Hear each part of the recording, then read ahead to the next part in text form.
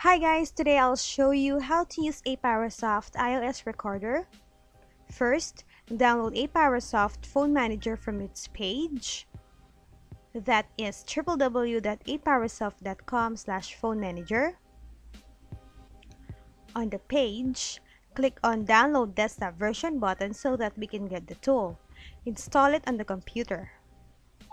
Afterwards, launch the application and connect the iPhone to the computer. The tool will automatically detect the iPhone. Once connected, click on the iOS recorder found on the interface of the tool.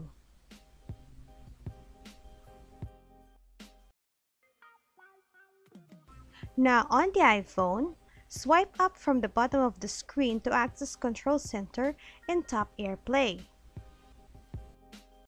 Next, you can see an icon of a TV screen Tap this icon and scroll the mirroring option on.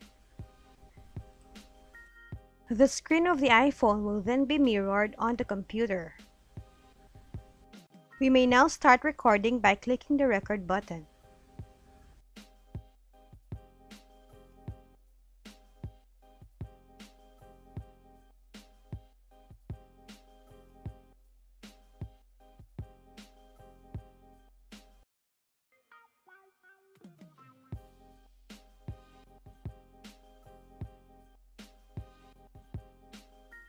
Once done, just click the record button again to stop recording. You may see the recorded file on the folder beside the record button.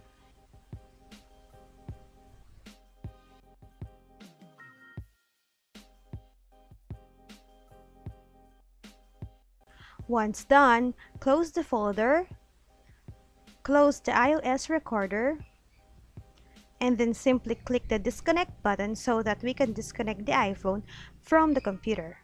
That is how easy we can use the iOS recorder. Thank you for watching.